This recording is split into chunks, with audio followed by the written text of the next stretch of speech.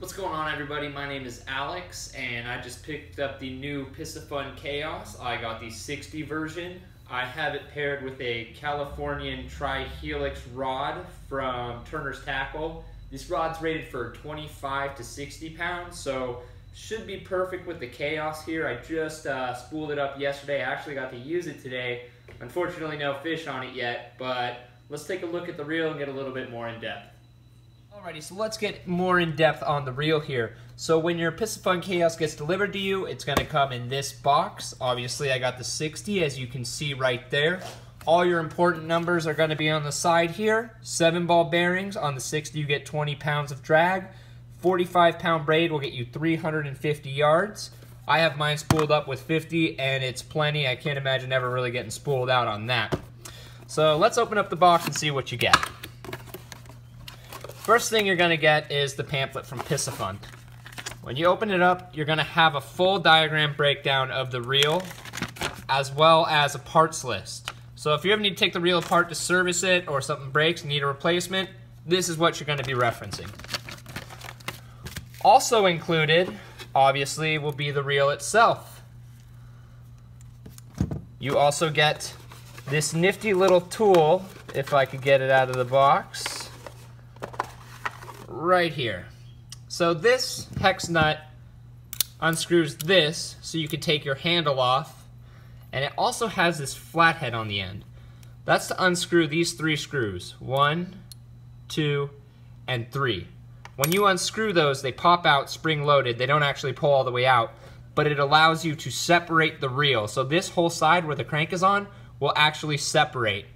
The centrifugal is located just inside here. So it's a six-pin centrifugal, and on that note included were two extra pins. So for this reel, I plan on throwing four ounce irons, four ounce weights. It's gonna probably burn that centrifugal up pretty quick. I actually cast it around today without it, and it casted pretty good, so I'm dying to see what happens when I click a few of these guys on.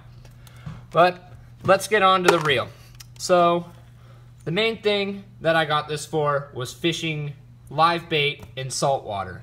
So the number one feature to me that is the most attractive is right there, that bait clicker.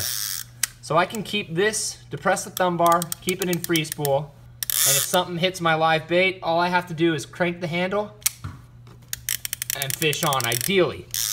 Another major feature that I absolutely love is this power knob. Like I said, I'm gonna be using this in saltwater application. Ideally, I'm gonna be targeting halibut with this reel, possibly if it can handle some heavier surface irons and maybe pick up a yellowtail or calico bass. That would be a pretty fun fight. I'd love to see if it's up to that challenge. But something that I actually had trouble with when I first got this I originally spooled it up with mono and it was completely off. This side was clumped up and the line lay was just absolutely terrible. And that's because I didn't read the directions. So you have two knobs on here. You'll see it here if this camera will focus.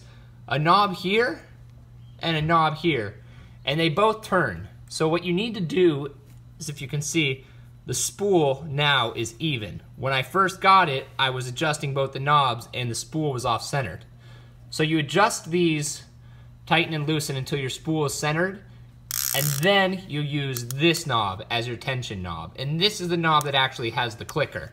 So that's gonna be what you're cranking down given the weight of your bait. But all in all, it's an amazing reel. Another feature that I love is this line guide. Uh, seats well. It's handled what I've thrown at it so far. I've only had one uh, experience on it, but at the price point of just around $50, I really can't see this being beat. It looks like a much more expensive reel. It feels like a much more expensive reel. And so far, it's performed par with uh, some of my major name brand reels. So I'm dying to see what happens when I hook into some larger halibut or bass or barracuda even on this. But all in all, for the money, I, I really can't see this being beat. So go out and get yourself a Chaos. So that's really it, guys. All in all, it is one sharp looking reel though. Of course I had to add the uh, blue braid to it because I'm a sucker for matching braid to reel color. But dying to actually hook into some. There she is.